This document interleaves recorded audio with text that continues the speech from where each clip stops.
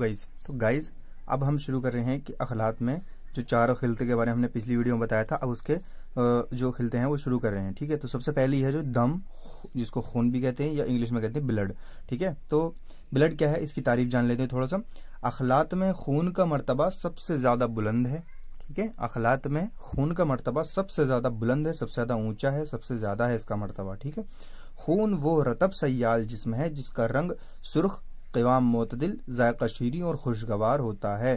खून क्या है? खून वो चीज़ है वो रतब सयाल जिस्म है। रतब बोले तो तर, जिसको कहते हैं, ठीक है? सयाल बोले तो लिक्विड, वो लिक्विड है, जिसका रंग क्या है? सुर्ख होता है, रेड कलर का, ठीक है? किवाम कैसा होता है? क़वाम बोलते हैं विस्कोसिटी ठीक है? विस्कोसिटी कैसी है उसकी? पतला है, गाढ़ा है तो किवाम कैसा है उसका? मोतदिल है। जायका कैसा है? शीरी है। मीठा है जायका और खुशगवार है, देखने में अच्छा लगता है। इसकी पैदाइश जिगर में होती है, यानी कि लीवर में पैदा होता है ये, और बदन का उमूमी तगजिया इसी के ज़रिए होता है, यानी कि मैक्सिमम जो न्यूट्रिशन बॉडी को पहुँचता है, वो इसी के ज़रिए पहुँचता है, ठीक है? यही तबई और खालिश खून है, यानी कि नॉर्मल और प्योर ब्लड इसी को कहते हैं। ठीक है? खून का मिजाज हार रतब यानी कि गर्म तर होता है, जिसका मतलब यह है कि खून के अंदर ऐसे अज्जा यानी कि ऐसे पार्टिकल्स पाए जाते हैं जो हरारत की पैदाइश में हिस्सा लेते हैं, जो हरारत पैदा करते हैं, ऐसी चीज़ें पाई जाती हैं कि ब्लड क्या रखता है बॉडी को गर्म रखता है, हरारत पैदा करता है। तो ये बात हो गई हमारी दम की है उसकी तारीफ़, ठीक है? अब नेक्स्ट देखते हैं खून के फ़ायदे क्या हैं। सो so, ये हैं खून के फ़ायदे। सबसे पहला है कि तगजिया बदन। तगजिया बदन मतलब जो बॉडी को जो पूरी बॉडी में न्यूट्रिशन पहुँचाने का काम जो है वो ब्लड ही करता है। ठीक है? पूरी बॉडी में न्यूट्रिशन पहुंचाता है। ठीक है? सेकंड है इसका हरारत यानी कि हरारत को जो है बरकरार रखता है हरारत पैदा करता है। ठीक है? खून। जिसकी वजह से क्या है, हमारी जो बॉडी रहती है, वो एक्सटर्नली जो ब्रूदत रहती है, यानी कि सर्दी जो रहती है, जैसे बहुत सर्द मौसम है, या फिर बहुत सर्द इलाके में, जैसे कश्मीर वगैरह में हम लोग हैं तो उससे बचाने का काम क्या करता है ब्लड ही करता है, क्योंकि ये बर्दन में हरारत पैदा करता है, ठीक है? और ये जो नशो आज़ा को बढ़ाता है थर्ड इसका फ़ायदा क्या है, तीसरा, कि आज़ा को बढ़ाता है। आज़ा को कब बढ़ाता है, जब बचपन में जब हम पैदा होते हैं छोटे बच्चे होते हैं तो उस टाइम पे बड़े होने तक जो हमारे ऑर्गन्स बनते हैं, जो बड़े होते हैं ऑर्गन्स छोटे से बड़े होते चले जाते हैं, वो इसी का काम है, वो खून खून जो है, आज़ा को बनाता है, ये उनको बढ़ाता है, ठीक है? चौथा है, ये खूबसूरती लाता है, यानी कि जिसके अंदर खून ज़्यादा होगा अच्छा खून होगा तो वो देखने में खूबसूरत लगेगा, वो शख्स देखने में अच्छा लगेगा, और जिनका मिजाज दमवी होता है, जिन लोगों का ठीक है, जैसे कि मेरा भी दमवी मिजाज है तो वो लोग देखने में अच्छे और खुशगवार लगते हैं। मैं, मेरी तारीफ़ नहीं कर रहा कि मैं खूबसूरत हूँ, लेकिन बस मैं जस्ट बता रहा हूँ कि जी दमवी मिजाज वाले अच्छे दिखते हैं, क्योंकि इसका मिजाज इसको ये जो खून की तारीफ़ ही है कि देखने में खुशगवार लगे अच्छा लगे। तो ये उसकी बात हो गई। पांचवा है कि रूह पैदा होती है। इसकी वजह से क्या होता है? रूह पैदा होती है। खून के लतीफ और बुखारी अज्जा से रूह पैदा होती है।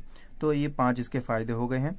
अब देखते हैं इसके अकसाम क्या है, किसमें क्या है। टाइप्स जिसको कहते हैं। सो so गाइज़ अकसाम में क्या है? इसकी दो किस्में होती हैं, दो टाइप्स होते हैं इसके खून तबई और खून गैर तबई यानी कि नॉर्मल और एब नॉर्मल ठीक है? तो खून तबई में खून तबई किसको कहते हैं? यानी नॉर्मल ब्लड कौन सा होता है? तबई खून वो है जिसके अंदर कीमियत और कैफियत, यहाँ पे लिखा हुआ है मैंने, कीमियत और कैफियत, क्योंकि उसके अंदर क्या है? कीमियत और कैफियत के लिहाज से अखलात मुकर तनासब और मकदार में हो, यानी कि उसके अंदर उसकी क्वालिटी और क्वान्टिटी एकदम एक्यूरेट होनी चाहिए। ठीक है? क्वालिटी एक अच्छी क्वालिटी होनी चाहिए और क्वांटिटी मतलब ज़्यादा या कम नहीं होना चाहिए वो, ठीक है? तो ये हो गया क्वालिटी और क्वांटिटी एकदम सही होनी चाहिए। तब खून का रंग जो होता है वो सुर्ख होता है, इसमें क्या है? बदबू नहीं होती है। इसमें क्या है? बदबू नहीं होती है और इसका कीमाम मतदिल होता है। जो विस्कोसिटी होती है, यानी गाढ़ा है, पतला है तो वो कैसा होता है? मोतदिल होता है, ना ज़्यादा गाढ़ा, ना ज़्यादा पतला। और जायका शीरी और खुशगवार होता है। जायका कैसा उसका, इसका मीठा होता है, शीरी होता है और खुशगवार होता है। देखने में अच्छा लगता है, खुशगवार लगता है। तो ये हो गई खून तबई की बात, जिसमें कीमियत और कैफियत एकदम नॉर्मल होनी चाहिए। ठीक है, अब आता है खून गैर तबई उसकी भी उसको भी देख लेते हैं। अब खून गैर तबई यानी कि एबनॉर्मल ब्लड वो होगा, जो खून तबई के, यानी कि नॉर्मल ब्लड के बिल्कुल अपोजिट होगा। यानी कि उसकी जो कीमियत और कैफियत है, यानी कि क्वालिटी और क्वांटिटी में जो है बिगाड़ पैदा हो जाएगा। तो इसमें चार तरह से तीन तरह से होता है बिगाड़ पैदा। या तो किसी एक सिफत में होगा, या दो सिफत में होगा, या तीन सिफत में होगा। सिफत मतलब एक बात बात कह सकते हैं, या फिर, यानी कि एक चीज़ में, यानी कि जैसे यहाँ पे चार चीज़ें हैं, रंग, बू, किवाम और जायका। या तो रंग में प्रॉब्लम होगी, या बू में होगी, या किवाम में होगी, या जायका में होगी, ठीक है? या फिर दो दो दो सिफत में होगी, यानी कि रंग और बू एक साथ होंगे, रंग और किवाम एक साथ होंगे। इस तरह से फिर या फिर तीन सिफत में होगी, रंग, बू और किवाम में होगी। तो सबसे पहले जो है एक सिफत में एक सिफत में प्रॉब्लम होगी या एक सिफत में बिगाड़ पैदा होगा तो उसकी चार किस्में होती हैं, रंग रंग के लिहाज से, बू, किवाम और जायका। तो इसकी चार किस्में ये हो गई रंग में बिगाड़ पैदा हो गया, बू में बिगाड़ पैदा हो गया, यानी कि उसके अंदर बदबू आ रही है। और किवाम यानी कि विस्कोसिटी या पतला, गाढ़ा हो गया, ठीक है? या फिर जायका यानी कि उसका शीरी से जायका, कुछ और जायका हो गया। तो चार तो ये हो गई एक सिफत में, यानी कि एक एक एक एक एक प्रॉब्लम हुई, एक एक गड़बड़ी हुई, ठीक है? एक एक गड़बड़। अब दो दो चीज़ें एक साथ आ गई यानी कि ब्लड में रंग और बू दोनों चीज़ें बिगाड़, दोनों चीज़ों में बिगाड़ हो गया, यानी ब्लड का रंग भी खराब हो गया और बू भी खराब हो गई बू भी सही नहीं आ रही उसके अंदर। तो इसी के साथ रंग और बू यानी कि दोनों में बिगाड़ पैदा हो गया और रंग और किवाम यानी कि दोनों दो, ये किवाम में भी यानी कि उसका रंग भी गड़बड़ हो गया और किवाम यानी कि उसकी विस्कोसिटी में भी प्रॉब्लम हो गई। ठीक है? तो दोनों चीज़ें बिगाड़ गई। रंग और जायका इसमें भी प्रॉब्लम हो गई। जायका रंग भी खराब हो गया और जायका यानी कि उसका टेस्ट भी सही से नहीं आ रहा है। टेस्ट भी गड़बड़ है। ठीक है, बू और किवाम, यानी कि उसके अंदर बदबू और किवाम आ गई तो ये भी एक एक प्रॉब्लम हो गई, ठीक है? तो बू और जायका के लिहाज से और किवाम और जायका। तो ये ये जो हो गई दो दो सिफत में हो गई, यानी कि दो दो प्रॉब्लम एक साथ। फिर आती हैं तीन तीन वाली, ठीक है? तो रंग और बू और किवाम, ठीक है? एक एक ये हो गई, रंग बू और जायका, रंग किवाम और जायका, बू, किवाम और जायका, ये तीन तीन की सिफत में हो गई। तो एक की सिफत में चार चार चार टाइप बनते हैं, दो की सिफत में जो है छः टाइप बनते हैं और तीन तीन की सिफत में, यानी कि एक, दो, तीन तीन की सिफत में जो है, चार टाइप बनते हैं। तो इसी तरह से इसकी फोर्टीन टाइप हो जाती हैं। One two three four five six seven eight nine ten eleven twelve thirteen fourteen तो फोर्टीन टाइप जो हो जाते हैं एबनॉर्मल ब्लड के जो फोर्टीन टाइप्स हैं। तो ये आपको अच्छे से याद रख लेने हैं। बस ये चार आप याद रखेंगे तो ये सारे जो है इजी हो जाएँगे याद करने आपको। क्या है, बस तीन बार यहाँ पे रंग रंग के साथ क्या है? देखिए यहाँ पे जैसे रंग है तो रंग के साथ क्या है? बू, किवाम और जायका तीनों से मल्टीप्लाई कर देंगे रंग की। तो ये देखो, रंग की बू से मल्टीप्लाई करी तो रंग बू, रंग की किवाम से मल्टीप्लाई करी तो रंग किवाम, रंग की जायका के साथ जोड़ा तो रंग और जायका, इस तरह से आ गया। फिर बू का इन दोनों के साथ जोड़ देंगे। बू और किवाम, बू और जायका, बू, किवाम, बू और जायका, इस तरह से। फिर ये किवाम अकेला बचा तो किवाम को जायका के साथ जोड़ देंगे, किवाम और जायका। तो इस तरह से ये याद कर सकते हैं आप। यहाँ पे भी देखो, रंग रंग और बू, रंग बू, रंग तो ये तो ये तो सारे कॉमन ही है। यहाँ से आप आसानी से याद कर सकते हैं, रंग बू, किवाम, रंग बू, जायका, रंग, किवाम, जायका, फिर बू, किवाम, जायका तो इस तरह से होते हैं।